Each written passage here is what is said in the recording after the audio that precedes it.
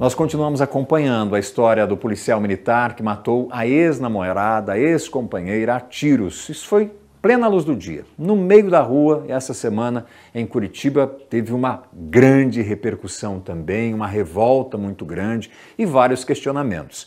O soldado Diego Almeida havia retornado ao trabalho no Comando Geral da Polícia Militar no mesmo dia que cometeu esse crime. A arma dele também foi devolvida no mesmo dia. E foi a mesma usada para matar a mulher e depois ele cometeu suicídio.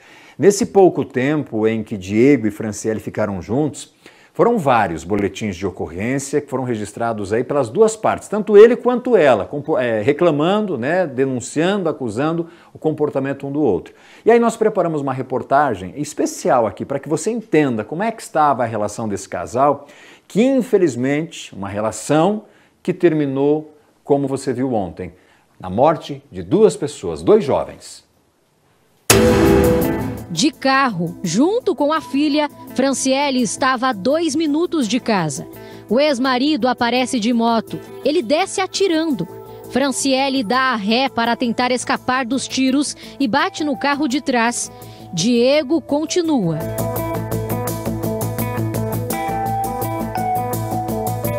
A filha de 11 anos corre. A atenção começa no bairro Rebouças, em Curitiba.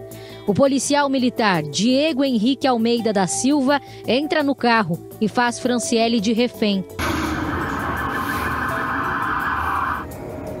Começam as negociações da polícia para socorrer a vítima e para que o PM entregue a arma.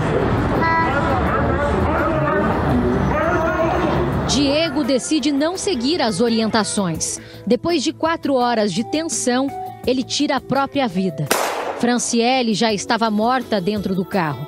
Quando perguntado ao comando da Polícia Militar por que os policiais não atiraram para tentar imobilizar Diego, a PM informou que as equipes seguiram procedimentos de segurança durante a negociação.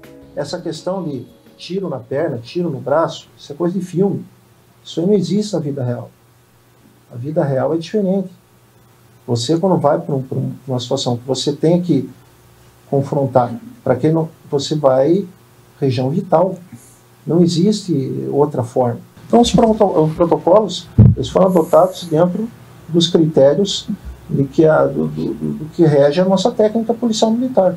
Exatamente 14 minutos antes do crime, Diego esteve aqui na sede da Polícia Militar no bairro Rebouças para buscar a arma. Ele havia retornado ao trabalho um dia antes. Segundo a PM, Diego estava afastado do trabalho e retornou depois de fazer nova avaliação psicológica. A junta médica avalia a, a legitimidade dessa, desse afastamento, né? homologa ou não. No caso, foi homologado. E no caso dele em específico, ele ficou numa quarentena de três meses sem o porte de arma. E na restituição ele foi reavaliado, certo? para ver se ele tinha ou não condições de portar a arma. Ele foi avaliado que ele tinha condições Sim. de portar. O que a corporação diz que não sabia era que Diego estava perseguindo e ameaçando a ex-mulher. No domingo, Franciele esteve aqui na delegacia da mulher e foi solicitado medida protetiva contra ele. A justiça autorizou ainda no domingo. Com medo do que pudesse acontecer, Franciele e a advogada dela também foram na corregedoria da PM na terça-feira horas antes do crime, para relatar mais uma vez as ameaças de Diego. Nós fomos na corregedoria novamente denunciar o fato das novas ameaças que ele fez é, no feriado e ver como estava a primeira denúncia. Então, ontem nós ficamos sabendo que a primeira denúncia feita na COGER tinha sido encaminhada na data de ontem para o comandante dele, né, para o supervisor dele. Então, enquanto ela estava fazendo a denúncia dela na corregedoria, ele estava no quartel, mais ou menos no mesmo horário, é, pegando a arma de fogo dele e não havia nenhuma restrição, nem médica, nem judicial, para que isso acontecesse. Então, logo após as 5 horas e 10 minutos, mais ou menos é o horário que se estabelece, é o momento em que ele encontra com ela e ele realiza os disparos de arma de fogo. Se tivesse tido um pouco mais de tempo, talvez essa situação tivesse de fato um outro deslinde e eu pudesse trabalhar numa questão efetiva de prevenção. O relacionamento, que durou cerca de um ano, foi marcado por brigas e o registro de vários boletins de ocorrência. Esse vizinho conta que as discussões aconteciam até na rua. 30 dias para cá, constantemente, qualquer lugar parava o carro e, e discutia assim bastante, mas me chama muita atenção quando era aqui perto que eu, que eu, que eu presenciava, ela nunca reagiu e nem, nunca conversou. Baixava a cabeça ficava quieta, né? E ele assim, se mostrava assim, bastante não agressivo fisicamente, mas é, um tom de voz e batia dentro do carro, por dentro do carro. Ela pediu o término. Diego passou a fazer ameaças e perseguir a ex-mulher. Um dos motivos para o fim da relação foi a perda de um bebê. Franciele relatou em boletim de ocorrência e também para a advogada que Diego pedia para ela abortar e que por duas vezes ele teria aplicado medicamento em Franciele para que ela perdesse a criança. Nesta mensagem que nossa equipe teve acesso, Diego diz para Franciele pensar no futuro e manda uma receita de uso de medicamento para aborto. Franciele escreve: pare.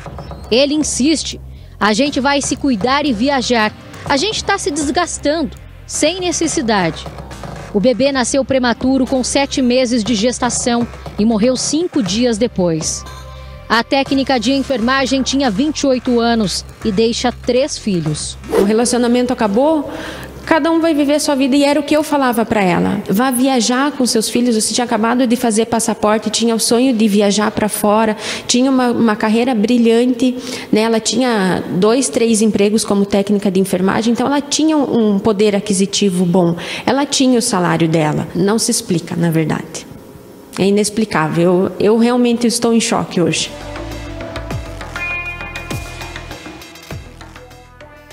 Duas vidas que terminaram aí de forma inesperada, com uma, uma violência absurda. São dois mundos que terminaram e a gente fica imaginando também nas famílias. A filha que por pouco, por pouco também não foi atingida por todos esses tiros disparados pelo policial, que vai ficar agora ficou órfã e vai ter que enfrentar a vida daqui para frente sozinha, sem o amparo da mãe e sem contar nos familiares todos, né, gente, que diante de uma violência dessa aqui também perdem o chão, perdem o seu mundo.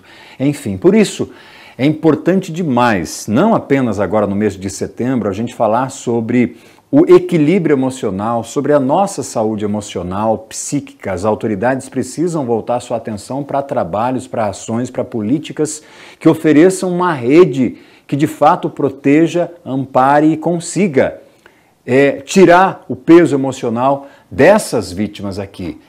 O policial estava sendo acompanhado, estava sendo seguido de perto por uma, a gente acredita, por uma equipe multidisciplinar especialmente cuidando, tentando zelar do seu emocional.